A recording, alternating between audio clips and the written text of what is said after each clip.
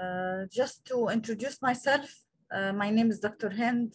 Um, I work at the uh, KSU, uh, responsible for the training program.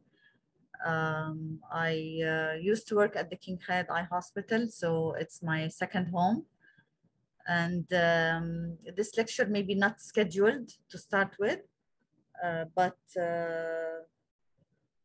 just remove my, it's better for me.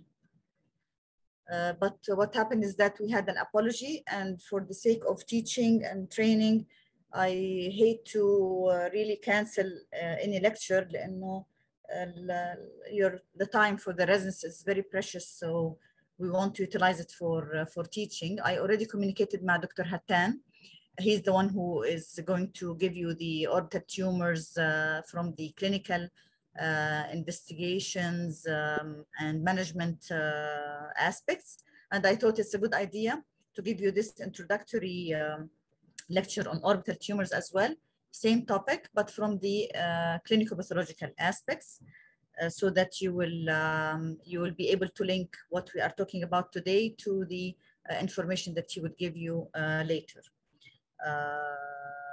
The, so the objective, as I mentioned, is to be familiar with the most important orbital pathology in terms of classifications and especially the, the neoplasm uh, and uh, appreciate the clinical pathological correlation that I just mentioned and the uh, frequency of the orbital neoplasm, especially if we are seeing an adult with uh, an orbital lesion or suspected tumor versus uh, in children.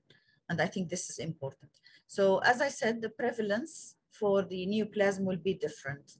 Uh, depending on the geographical area, ethnicity, race, and sometimes depending on the way the study was conducted, yani the design of the study, the methodology, and so on. So when I used to do literature search for um, any specific orbital tumor, for example, uh, sometimes I face difficulties because some of the studies on orbital uh, lesions will include all lesions, inflammatory, uh, structural, and so on. So sometimes the percentage and the frequency or the distribution of the tumors, actual tumors, is a little bit different. Uh, some of them, they include lacrimal gland tumors, some of them, they don't. So um, sometimes in the literature review, it's a little bit um, uh, troublesome for somebody who's gonna write an article uh, or study or do a study on, on this topic. But generally, they are generally rare. Uh, the previously reported prevalence of orbital neoplasm is 3.5 to 4 approximately. The, again, the other thing that's a little bit controversial is the way to classify them. Some people like to classify them based on the origin, yani histopathological origin of the lesion, which uh, uh, tissue exactly is it coming from or arising from, or according to the site, or the clinical behavior. Uh, but there is um, uh, a classification that I do personally like, and I find it, um, you know, like easy to grasp and to understand. Uh, why is this easier? Because any anatomic structure that you can think of in the orbit, whether it's a nerve, um, muscle, soft tissue, anything can be a source for a neoplasm. So if we are looking at the, at these orbital lesions in terms of primary lesion, meaning that it's originally arising from that tissue in a primary way, that's the primary site for it, versus secondary, where the tumor origin originates from a nearby tissue, versus metastatic. And metastatic here means that the tumor or the lesion reached the orbit either by hematogenous spread or lymphatic spread. So I want you here for the sake of the residents specifically to differentiate between the word secondary and the metastatic. Secondary will mean that the tumor is coming from a nearby tissue, they, for example, a sinus or from the brain. Uh, uh, the best example of, uh, about this is the nasopharyngeal carcinoma, for example. and then it reached the orbit. Could be also secondary from, um, from you know, like a periocular area, like eyelid from the skin or from the conjunctiva coming to the uh, orbit, extending to the orbit. So primary, secondary, metastatic, I feel that this is a nice, uh, you know, classification. Uh, looking at the orbital topography is important. Again, this is not um, our main issue or topic here, Uh, but just remember that you have the bones surrounding the orbit. Uh, remember that you have many structures, the globe, the lacrimal gland, the muscles, the tendons, the fat, fascia, vessels, nerves, sympathetic ganglia, cartilaginous trochlea. All these can be a source of neoplasm. And this is just um, an illustration to show you the, um, the, uh, the many structures that you can uh, see in the orbit. And I'm sure that you can study this uh, in terms of anatomy uh, and so on. So primary orbital lesions among the classification that I favor are the commonest, and they range from 56 56% to 77.29%. Secondary tumors are less, uh, maybe around 20. They range from 18 to 36%. Metastatic will be the least common. They account only for 0.32, so even then less than one, up to 10% approximately. Uh, unfortunately, most of the orbital lesions are malignant in some of the reports, with a prevalence as high as 86 uh, percent. But as I told you before, this will depend on the study design itself and the way they, they put it and where the study is done. For example, if you do a study on orbital lesions in KKH, for, for example, which is a tertiary eye hospital with um, a good number of referrals, most probably you will find more malignant because the, the cases that, the type of cases that are going to be referred are not going to be the simple cases. They are going to be the more difficult uh, or the malignant tumor uh, cases. In terms of the demography, as I told you before, uh, the, there is a difference in the distribution of the orbital lesions among the adults versus the children. But all in all, in general, the orbital lesions are more common in adults. Majority of patients will present in sixth and seventh decade, and the median age for orbital tumors, at least in the USA, is 55 years. And I will come across um, two, two major studies that were done uh, as thesis for uh, previous uh, residents, uh, one on orbital lesions in adults and the other one on children, but I favor to put this at the end of the talk uh, because I wanna give you the principles first. Uh, frequency of the orbital neoplasm will differ, as I mentioned, depending on the age, but the usual presenting symptoms in common, in, in regardless of the age or in both age groups, will be proptosis, uh, extraocular motility disturbance, diplopia, lid dysfunction, sometimes pain, um, uh, and uh, sometimes rarely maybe it might affect the vision, especially if it is causing pressure on the globe uh, and so on. Neoplasm will include the lacrimal gland lesions, will include lymphomas, and I'm not going to talk about lymphomas because it's a whole different uh, spectrum uh, meningiomas, neurofibromas, schwannomas, rhabdomyosarcomas, and vascular tumors in addition to it. These are the most important ones that I want the residents at least to um, have an idea uh, about. For the lacrimal gland lesions, the epithelial lacrimal gland tumors account for 10 to 16% of the uh, orbital lesions. Um, the two main epithelial lacrimal gland tumors uh, that I keep telling the residents that they have to see the when they do the pathology rotation to check the slides, be familiar with, with these and know how do they look like. Uh, they are mostly the pleomorphic adenoma. Uh, in other terms, we call it uh, benign mixed tumor. And from the malignant group uh, affecting the lacrimal gland, the adenoid cystic carcinoma. Um, I wanna stop here, um, not stop sharing, but at least uh, try to, sorry for that. one of the participants, I want one of the R ones to tell me why do we call the pleomorphic adenoma as such, otherwise I will just pick.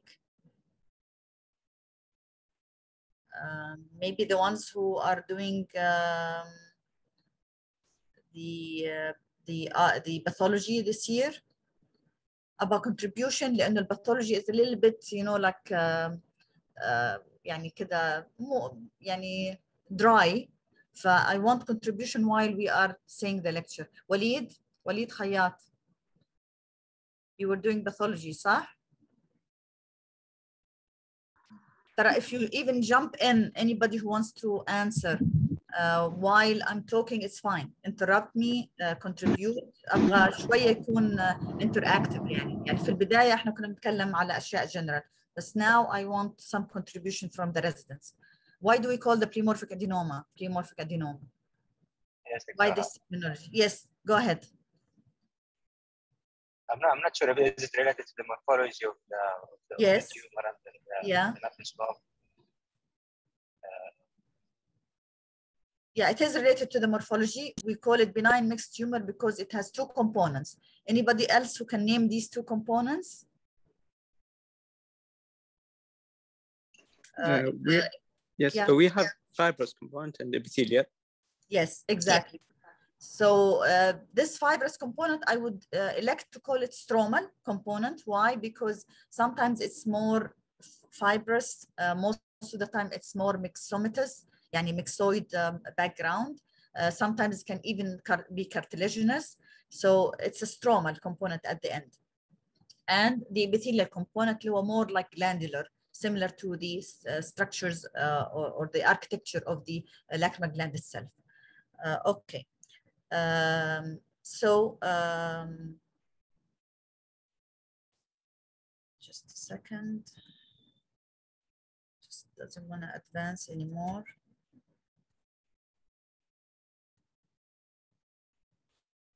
Okay.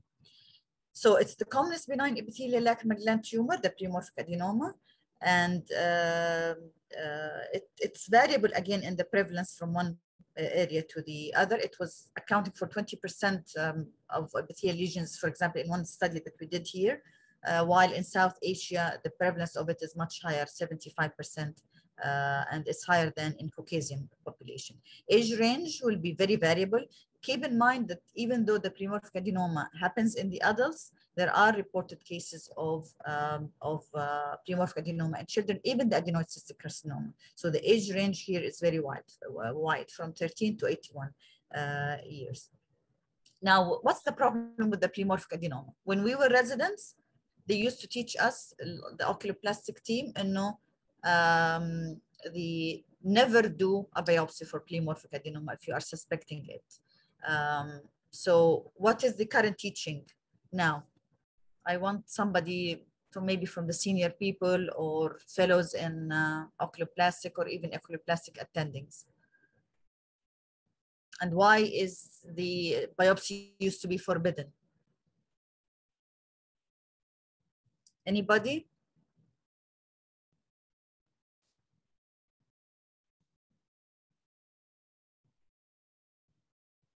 وإلا هرجع أنا to assign somebody to to to speak up.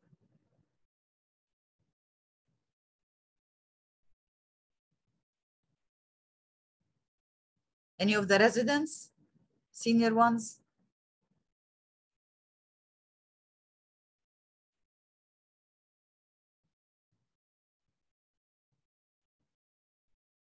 أنا شايفة دكتور عبد الله خان with us. Yes.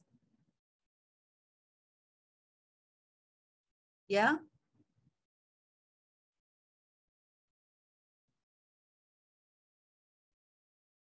Okay, anyhow, we'll continue for the sake of the time. Um, so we used, when we were residents, they used to tell us, don't do biopsies at all.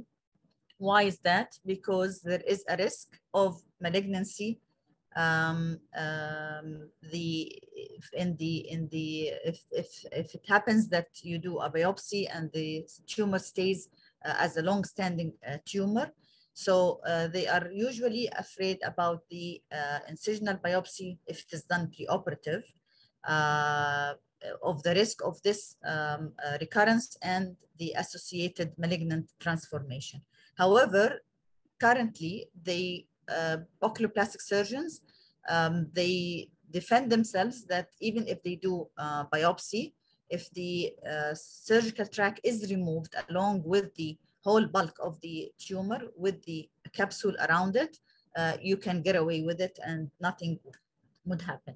But anyhow, I think that clinically and radiologically, you can um, make a good um, uh, judgment uh, because of the uh, the bone remodeling that happens uh, rather than the bone invasion, for example, in pleomorphic adenoma, Uh, uh, in in uh, making the the history from the patient, for example, because it's slowly growing, because it's a benign tumor to start with, benign lesion. So if you make the proper diagnosis initially, I still think that it's favorable all in all among the oculoplastic surgeons to go ahead and uh, do the uh, excision, the excisional biopsy, meaning removal of the whole tumor with the uh, pseudocapsule that surrounds it to make sure that uh, you will not have a recurrence and you will uh, also uh, save the patient the risk for any malignant transformation.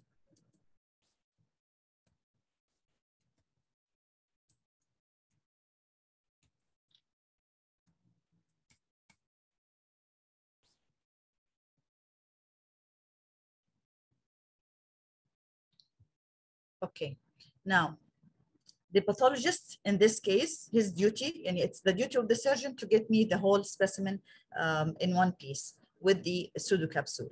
For me as a pathologist, I have to uh, grossly examine the, the specimen, make sure uh, when I do the serial sections to embed the, uh, the, the whole tumor and to make sure that the pseudocapsule is there. Uh, uh, you can dye the, uh, the surgical margin of excision with, with ink in order to ensure the complete excision of the tumor. Uh, histopathologically, usually, as I said, it's well demarcated and surrounded by this pseudocapsule. And as we mentioned before, it has um, a proliferating epithelial component and a mesenchymal or stromal component, and that's why we call it a mixed tumor. The epithelial component will be more or less similar to the glandular structures, ductal structures, and sometimes non-ductal spindle uh, round cells. Um, in the recurrent cases, you might have some squamous metaplasia of these uh, epithelial components, and they might look squamoid rather than uh, ductal. So this is just an example uh, here uh, of, of, uh, of the pseudocapsule here where my arrow is, is, is is. And then uh, if you can appreciate the epithelial components, the darker ones that have some ductal uh, appearance here with some secretions, these secretions will be stained with the Alcian blue. And then you have here the stromal component that we are talking about. Um, this is again uh, another photo uh, to show you the mesenchymal component, the stromal component here, and the epithelial component here. Here it's more solid-like, but here, for example, you have more glandular-like structures that mimic the uh, lacrimal gland tissue with these secretions uh, in the middle. Uh, that's why if you uh, do a, PAS stain, periodic acid Schiff stain, you will be able to see these secretions in the epithelial component of the uh, tumor. Um, uh, while the stromal component, as I mentioned earlier when uh, Dr. Al-Sulaiman uh, answered me, it could be myxoid, hyaline, cartilaginous, or even sometimes osseous. Uh, but uh, more commonly the myxoid. This is what we tend to see uh, more. And this is an example of a myxoid stromal background, okay? you can do also Alcian blue staining and it will stain nicely. So that's the stromal component here where my arrow is, and these are the epithelial components. It could be cartilaginous, and this is an example of, of the cartilaginous one. That's the stromal component again in the middle, and these are the epithelial component here at the uh, edge. Uh, and this looks like immature cartilage. Of course, it's not going to be like the mature cartilage appearance, but it is cartilaginous in, uh, in consistency.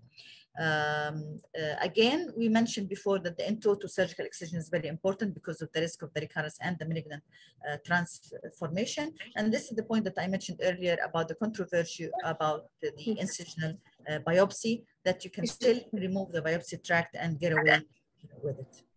Uh, the malignant transformation can happen in any of the uh, components, meaning that it can happen in the stromal component, and in this case, it will give you a sarcoma or sarcoma tumor. Or it can happen, of course, in the epithelial component, and in this case can give you either adenocarcinoma, that's the more uh, common one that we tend to see, or mucoepidermoid carcinoma. Uh, adenocarcinoma, keep in mind though, that it can happen de novo, meaning that it can happen without a prior history of pleomorphic adenoma. So the adenocarcinoma as we mentioned, and this is just an example of, uh, uh, of, of the malignant change. And uh, maybe it's subtle change to you as residents, uh, but if you look carefully at the slide with uh, uh, higher higher power and so on, you will see that these cells and, are not benign looking. And even the configuration here is different than the uh, benign uh, configuration of the epithelial component that we tend to see in, uh, in benign mixed tumor. Um, the, the carcinomas are usually poorly differentiated. And I mentioned here specifically the infiltrative growth pattern in red because it's very important for the pathologist, again, when he checks the recurrence, uh, to check whether the adenocarcinoma or the malignant component is infiltrating the pseudocapsule around it. And um, keep in mind that when we see the recurrence, uh, usually it's not really well demarcated like the initial excision. So the best uh, deal for the patient is to have the good excision from the start by a good experienced oculoplastic uh, surgeon and more i mean like all the cases that we have seen before uh, at least in kkh uh, where the bulk of my cases um, was there before when i was there the the removals or the excisions were all um, really complete. Um, you see here for example uh, if you compare the, the this picture with the arrow where you can see the, the tumor reaching up to the uh, surgical margin of excision, there's no really true pseudocapsule in the recurrence uh, in the same way that we have seen it in the uh, original picture of the pleomorphic adenoma. Uh, terminology has been controversial. If it happens, if the malignant degeneration happens in a recurrence, some people like to call it carcinoma ex pleomorphic adenoma.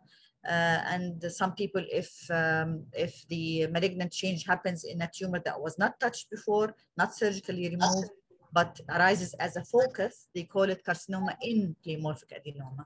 Uh, but anyhow, uh, the good histopathological examination is really essential.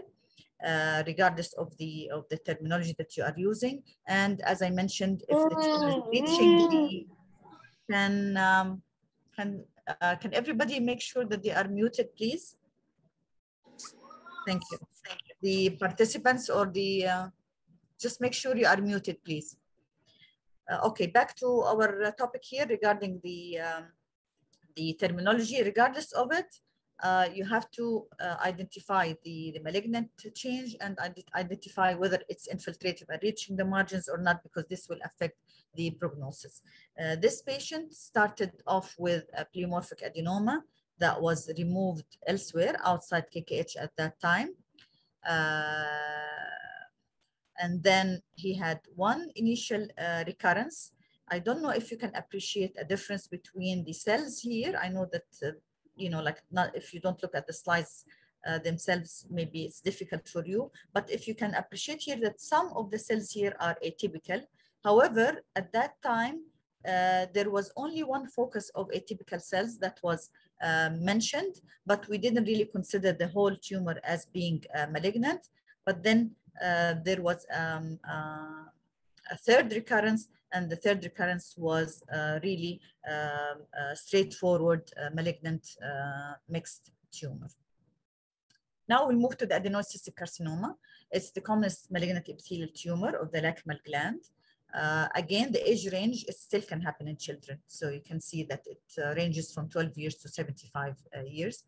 Now, pain in the adenoid cystic carcinoma, I keep stressing this on the page on, on the for, for the residents. Uh, it's usually a cardinal symptom because of the perineural uh, invasion. The survival, of course, um, uh, is relatively um, poor. 10-year overall survival and 10-year disease-specific survival is 38.7 and 51.4 percent respectively. And where what, where is the death coming from? It's because of the distant metastasis, mainly lung, brain, bone, in addition to the intracranial uh, spread. Now, um, again, adenoid cystic carcinoma is typically non-encapsulated and it's infiltrative. That's why even for the clinicians, the oculoplastic surgeons, they can easily tell from the uh, uh, history uh, being more acute, from the pain, from the bone erosions when they do the radiology imaging, uh, and, uh, and uh, you know, the clinical examination, they will easily um, suspect it. from my aspect, from the pathology point of view, I always tell the residents also to remember in relation to adenocystic carcinoma, the word Swiss cheese, because that's the descriptive term for the uh, tumor, because it has a cribriform uh, appearance. But still remember that it can be um, solid, it can be tubular, it can uh, have mixture of uh, different patterns, and it can be even basaloid in uh, appearance. For the cribriform or the Swiss cheese appearance, that's classic. This can come in exams, in OSPE or in a quiz, because you can easily spot it and you will uh, not forget it. Again, another uh, uh, picture of the adenoid cystic. But the solid, uh, which can be basaloid looking, may be a little bit similar to the basal cell carcinoma even. Uh, that's more difficult to uh, appreciate. so it won't come, you know, like like in, in exams. And you can have mixture of both a more uh, solid uh, basaloid uh, appearing tumor like here and more tubular like this one here. Uh, we do some stains uh, for the tubular areas or for the cribriform areas, uh, especially the PS, the mucicarmine, and so on. Um, and um, one of the um, areas for MCQ questions also for the sake of the residents are the progno prognosis uh, indicators for the adenoid cystic carcinoma. Remember that the solid type or the basaloid type is worse. Um, uh, the if there is perineural, of course, or bone invasion, that's going to be also worse. Tumor size, of course, if it is large, it's going to be uh, bad. And the tumor staging according to the AJCC staging. Uh, if it is, you know, advanced staging, then again, it's bad. Uh, now we move to the soft tissue orbital tumors. It's one of the most difficult areas even for the histopathologists because the soft tissue lesions uh, are, are, not easy to uh, diagnose. Uh, uh of course, the radiology will help uh, a lot. And I do remember also when I was at the KKH, uh, Dr. Sahar was really doing a good job when it comes to the diagnosis of these tumors. out of these, I think the most important one to talk about is the rhabdomyosarcoma. It's highly malignant. Uh, the um, the uh, we did, as I mentioned earlier, um, a study in Saudi Arabia about the pediatric orbital lesions. And even though the non-structured tumors may be more commonly the dermoid for example, will compromise a lot of the uh, of the lesions, 37% of the total. But uh, if we are separating the neoplasm, out of the neoplastic, truly neoplastic uh, lesions, uh, excluding the, the structural ones, the rhabdomyosarcoma is the commonest. Pathogenesis is not uh, clear, but it is related to pluripotent mesenchymal cells that might resemble muscles. And this is important for us um, uh, in terms of the diagnosis as pathologists because we tend to do immunohistochemical stains to prove it um, using the muscle lineage immunohistochemical stains. Uh, for the sake of the residents, just remember the most important uh, histological types. Uh, the, and remember that we have the more common is the embryonal, which have better prognosis. Uh, and remember that the alveolar is the uh, one that has the worst prognosis. But luckily enough, our most of the our cases are uh, embryonal type. It's the most uh, common. The um, uh, the, this is an example of rhabdomyosarcoma. I always keep uh, telling the residents when we uh, review the slides in our pathology sessions, uh, don't bother about the appearance because rhabdomyosarcoma is one of the blue cell tumors that includes other uh, tumors as well. might be difficult for them to appreciate or to diagnose, so it will not come as an OSPE or a, or a quiz unless it is associated with clinical photo or radiological image to help you in the diagnosis, which happened in one of the uh, the final board exam, in one of the exams. But it was not like purely only histopathology uh, image. The cells like to grow around blood vessels, as you can see here in the picture. This is a blood vessel here. Uh, and as I mentioned earlier, uh, if you have very good um, uh, well-differentiated tumor, you might end up uh, seeing some Z bands similar to the bands that we see in the muscles. This is the alveolar subtype, which is um, uh, less uh, differentiated. And we do whole sometimes panel of immunohistochemical stains. You don't really need to remember all, all of the names, but at least be familiar that you are doing muscle markers. Uh, for example, the myogenin, it's the one that's more commonly uh, expressed, but we sometimes use desmin, uh, smooth muscle actin, and um, uh, myo D1 as well uh, in other cases. Again, another important thing for you to read in theory uh, for the residents uh, is the genetic aspects of the rhabdomyosarcoma, um, especially if you are comparing the familial and the sporadic cases of the embryonal rhabdomyosarcoma. Uh, commonest clinical presentation will be unilateral proptosis, which is fast, fastly progressing over a few weeks. Uh, and the survival will depend on the disease extent uh, and so on, but I don't want to go into the uh, details of this. Uh, the uh, embryonal, as we mentioned, have better survival rate than the alveolar. we'll move now to the neurogenic um, soft tissue tumors in the orbit.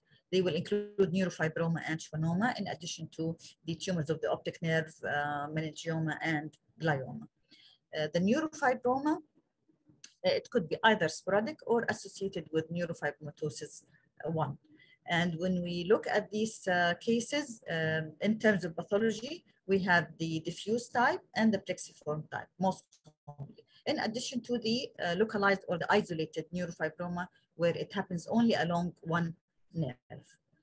Uh, I'm not going to go also into further uh, details, but uh, this is just an example of a, of a neurofibroma in a patient grossly and histopathologically. Histopathologically, you will find all the elements of neural tissue, including axons of, of nerves and sometimes also even Schwannian uh, cells. Now, the difference between the diffuse and the plexiform is that the uh, plexiform neurofibroma will be similar neural uh, tissue proliferation, but uh, surrounded by perineurium. And as long as surrounded by perineurium, it will um, uh, be histopathologically looking like this, where you have isolated uh, islands of the neural tissue surrounded by the perineurium.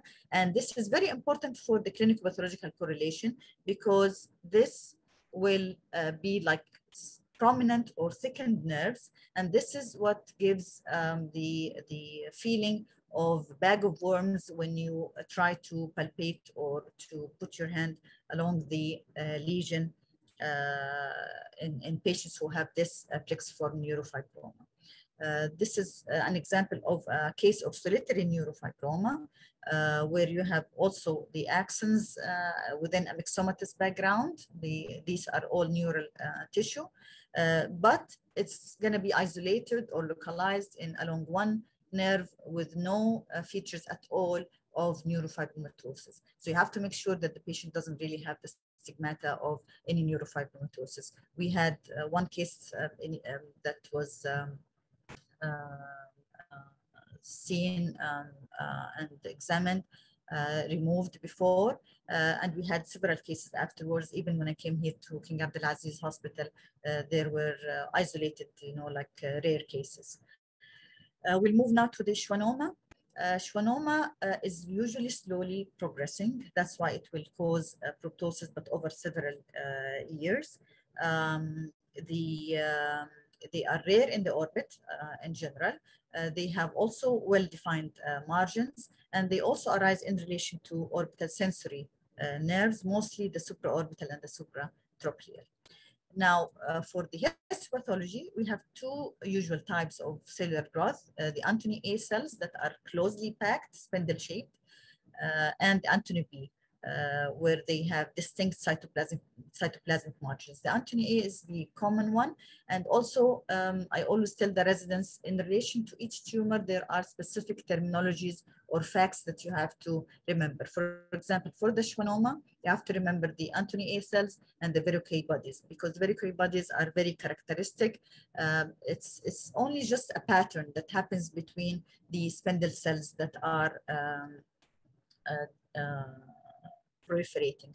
Uh, so these are the uh, Antoni A cells and the Verocay bodies will be actually the uh, area, the pinkish area between uh, the two group of, of cells that are uh, spindly and they are wavy, uh, um, like maybe here in this picture, they are more clear.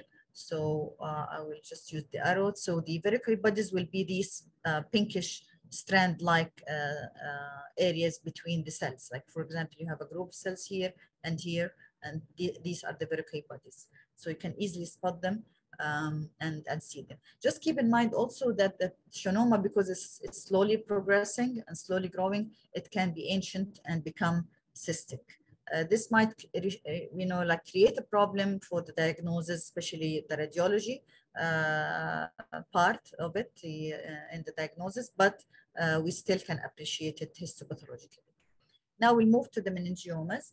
Again, the meningiomas are one of the uh, tumors that might be linked to neurofibromatosis, but it's going to be type 2 um, uh, in children. Uh, and uh, they either arise from the intracranial cavity and then extend to the orbit, or they can arise from the optic nerve sheath itself, as you can see here. Uh, it can be arising from, uh, from intracranial and then spread here, or originally from the uh, sheath around the optic nerve, uh, whether it's uh, anterior or posterior here towards the canal. Yeah, so different sites. Now, another thing that you have to remember always whenever we talk about the meningioma of the optic nerve, especially if you are going to compare it to the, uh, the other important lesion of the optic nerve, which is the optic nerve glioma. The, because the meningioma is arising from the sheath, uh, if you notice here radiologically, you will find that the thickening or the uh, enhancement will be along the uh, actual nerve here in the middle. And this is what we describe as tram tracking.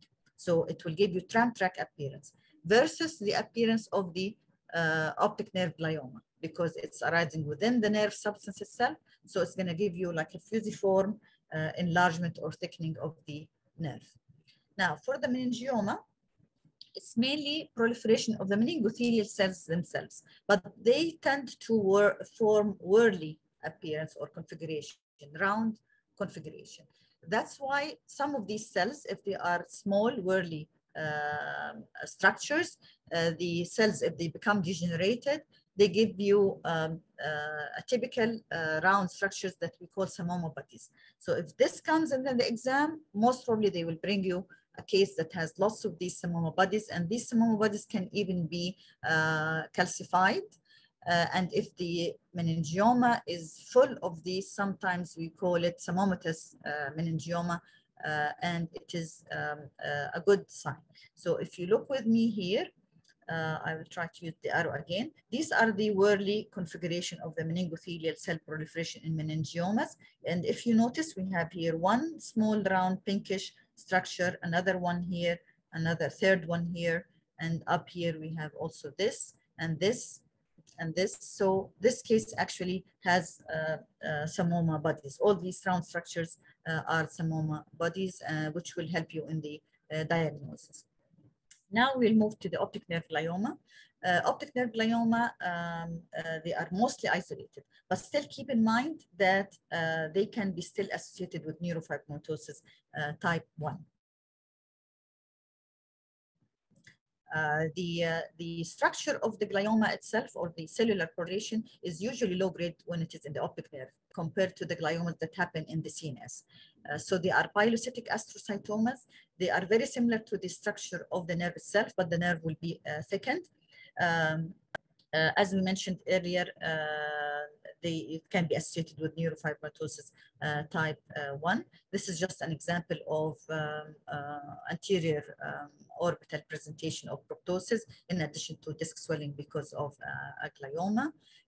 it can give you posterior orbital canalicular presentation where you have mostly decreased vision and maybe no uh, proptosis, but in this case, there will be relative afferent defect, or it can be even uh, asymptomatic. Um, uh, in this case, as we mentioned, you really have to check the patient very well uh, for any signs of uh, neurofibromatosis or café-au-lait spots.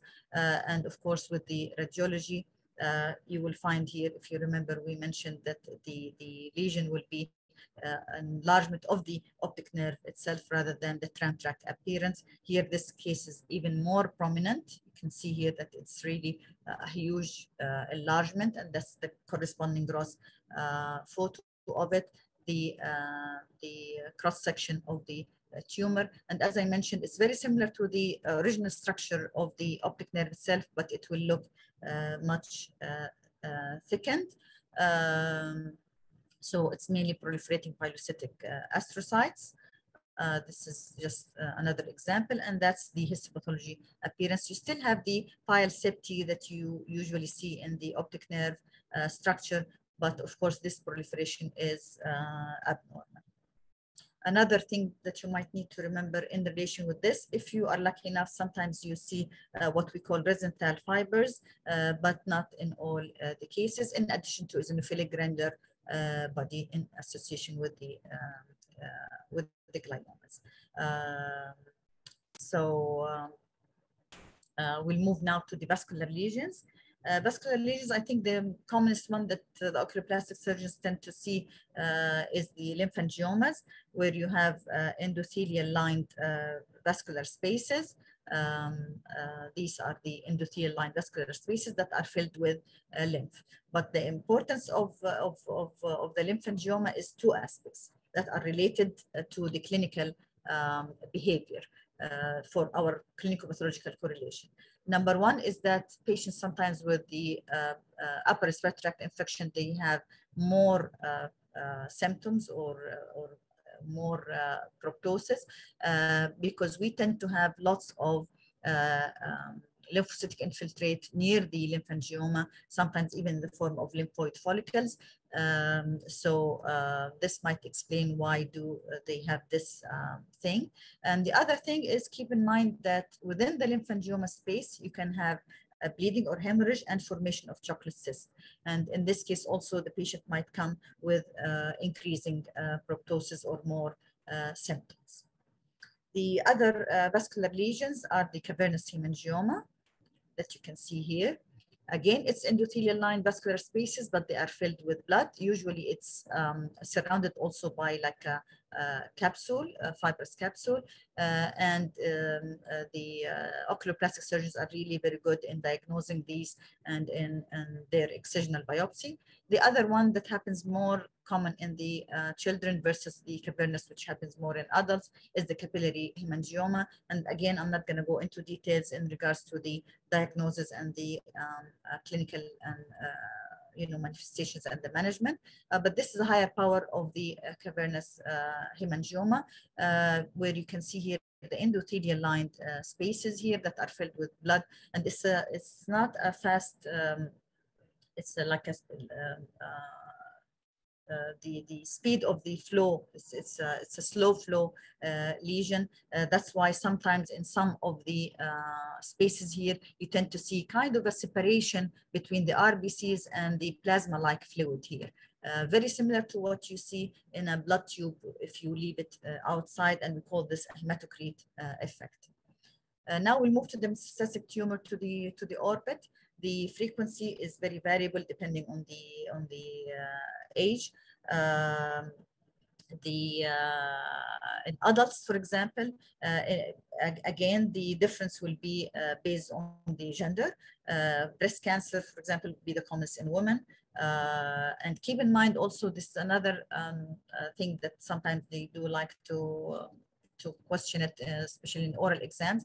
Uh, beware that because breast cancer is the most common metastatic lesion in the orbit in women, uh, it might sometimes, because of the type of the original breast cancer, the serous one, pre present as an enophthalmos rather than uh, proptosis or exophthalmos. Or, or can cause retraction of the globe and sometimes even restriction of the extraocular movements depending on the type of the uh, um, of the breast cancer, the original one, the primary uh, lesion. So this was an example of the uh, one of the cases that I have seen at KKH. Um, uh, here there are some uh, muscle and that was taken from the uh, orbit. Uh, and I don't know if you can appreciate these strands of the abnormal malignant cells, which we call Indian files. again, um, as you know, whenever there is a metastatic lesion, uh, it's usually less differentiated than the primary one because it's growing in a different environment, growing in another place that's not its original place. So uh, the uh, orbital mets uh, are difficult to diagnose sometimes because of this reason and sometimes you have to do immunohistochemical uh, staining, uh, especially for the hormone receptors and so on. Um, uh, but again, you don't really need to dig into the details of this. In men, the commonest primary will be from the uh, lungs. Uh, other less common sites might include the neuroendocrine, the colorectal, and even cutaneous uh, melanoma. Uh, the, also, uh, you can consider osteosarcomas, but if they are rare. Um, the this is just the study that we tried to, to do uh, the, before as a thesis for one of the residents at KKH. Um, that was mainly in, ch in, in, children age 18 years or, or younger, and we reviewed the uh, histopathology and the radiology imaging. So as you can see here, if you are looking at the total number of the biopsied lesions, we didn't do it from the clinical aspect, we did it from the database of the pathology uh, lab itself, the uh, pathology department. So we took all the um, biopsies, and as you can see here, the cystic uh, and the vasculogenic uh, uh, were considered non-neoplastic, but the cystic was the commonest, followed by the vasculogenic.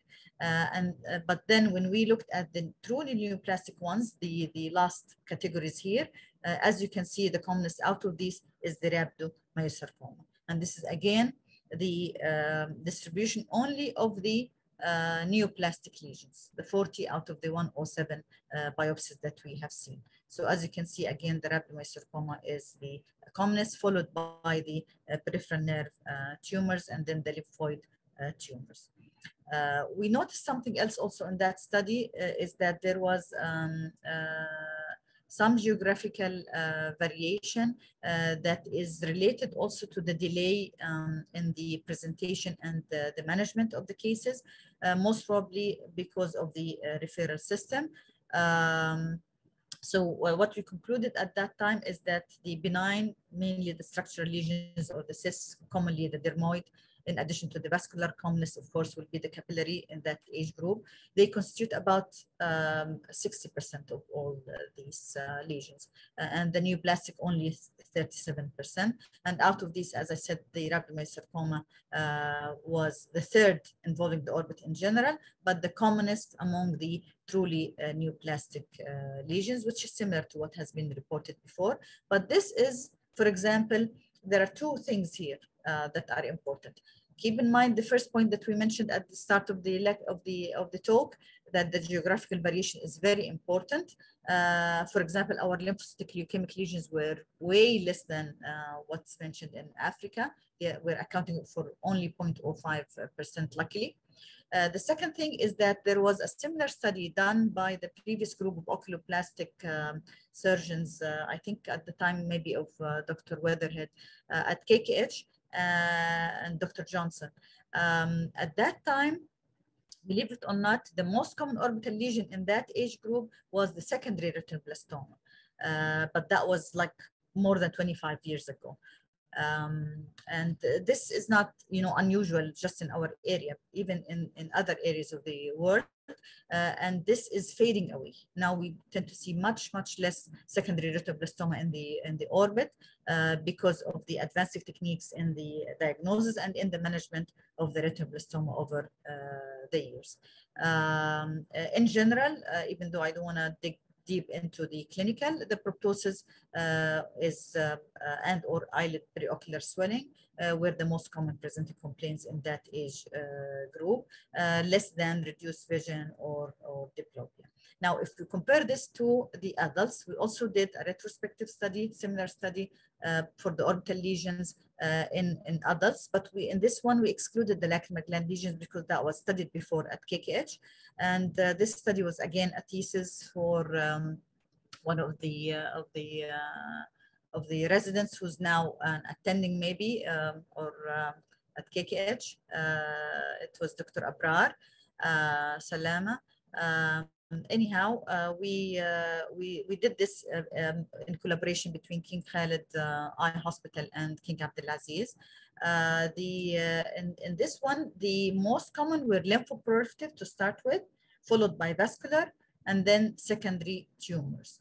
Um, um, so we had, you know, in that uh, group uh, more lymphoproliferative in comparison to the uh, pediatric. Uh, this is just to show you the category with the, um, uh, as you can see, the lymphoproliferative uh, constituted about 26%. So it's the highest, followed by the vascular in 21.8%. But this gives you the distribution of all uh, different subtypes of the lymphoproliferative and the vascular. And as you can see here, For example, because they are adults, we didn't have here any uh, capillary hemangioma, for example. They are mostly cavernous, of course, in addition to some AV malformations, lymphangioma, and so on. Uh, the secondary uh, were mostly arising from eyelid or conjunctiva. Uh, and uh, out of the neurogenic, we had schwannomas, solitary neurofibroma, and meningiomas. We here in this um, classification, we included all the uh, lesions, orbital lesions in general. So it will include also the structural and the uh, and uh, and other ones. Um, the so here we looked at the the demographics, uh, meaning the, the gender distribution. And if you uh, can notice here, for example, for the lymphoproliferative, uh, it was more common in males, while the vascular lesions were more common in, in females. Um, again, the clinical symptoms, there has been overlapping uh, clinical symptoms, but when we categorized the symptoms according to the type of the lesion, lymphoproliferative versus vascular versus secondary and neurogenic, as you would expect, the uh, proptosis was very prominent uh, as a symptom in addition to ptosis and lid edema, for example, for the lymphoproliferative. While if you go to vascular, you have you tend to have less ptosis and lid edema, but you still have um, the proptosis as a major uh, complaint. When it comes to secondary, because the type of the tumor is, uh, is different, you tend to have more pain and tenderness because it's an infiltrative uh, tumor within the uh, orbit, and you tend to have um, sometimes mass lesion and so on. So the clinical, um, uh, you know, like uh, symptoms were a little bit variable from one group to the uh, other. this was the outcome. so as you can see here, almost 80% uh, had uh, no recurrence and satisfactory uh, outcome, in addition to some cases where we had residual tumor or there was further extension and invasion. Um, the, uh, this is just the gender distribution, as I mentioned earlier, uh, and the comment uh, among the about the cavernous hemangioma being the commonest among the vascular lesions, um, and the outcome that I just mentioned earlier. Um, thank you all for listening, and if you have any questions, um, I will be glad to answer. Okay, uh, if you don't have any questions, um, I hope إنه يعني you can maybe review this lecture before the subspecialty lecture for Dr. Hattan. I know it's still uh, يمكن Dr. Hattan's lecture is still far away, further away. Uh, but uh, uh, I know that the KKH they do record the uh, the uh, the talks, uh, and it will be nice if you can you know like go through it uh, briefly it will complement, I'm sure, his uh, lecture that he will talk about in terms of diagnosis and clinical uh, manifestations and, and management. في سؤال من uh,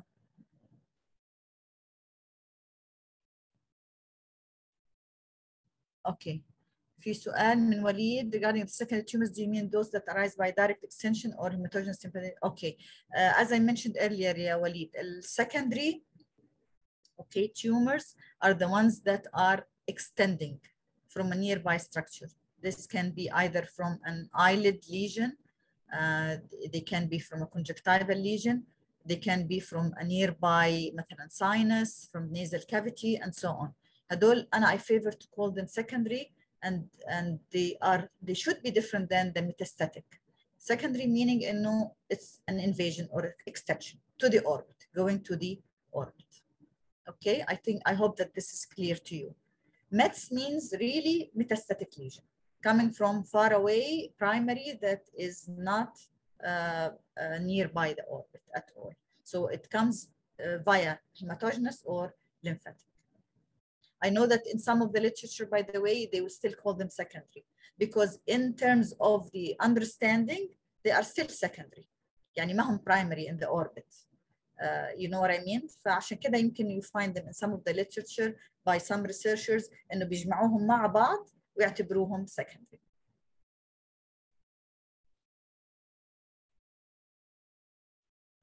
Okay. طيب, I don't see any more uh, questions.